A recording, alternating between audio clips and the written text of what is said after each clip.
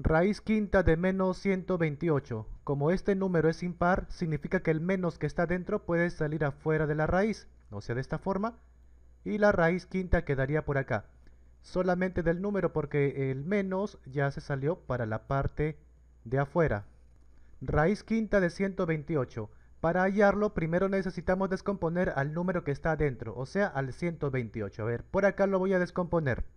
Para descomponer 128 primero tenemos que ir sacándole la mitad, o sea, dividiéndolo entre 2 hasta donde se pueda. A ver, acá termina en par, así que sí, tiene mitad, así que entre 2, 128 entre 2 sale 64.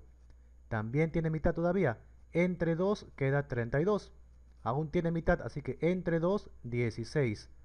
Otra vez entre 2, 8. Otra vez entre 2, 4.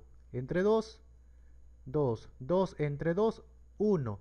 Ya quedó como 1, así que ya está descompuesto. Entonces, ¿cómo vendría por acá?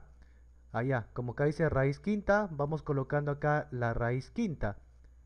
Como dice acá 5, tenemos que agrupar de 5 en 5, pero que sean iguales acá. A ver, 5 iguales hasta acá, ¿verdad? 1, 2, 3, 4, 5. ¿Qué número?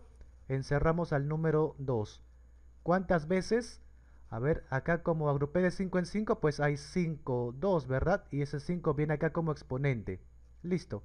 Ahora, otra vez raíz quinta, pero para, para los que quedaron afuera.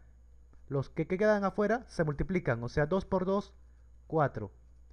Siempre que el exponente sea igual que el radical, se eliminan. O sea, se eliminan con todo y raíz. Entonces, ¿qué es lo que quedó? Dentro de la raíz solamente quedaría entonces el número 2 y acompaña la raíz quinta del número 4, o sea, solamente baja. Y listo. Ya está. No olvides comentarme cuál es tu curso favorito.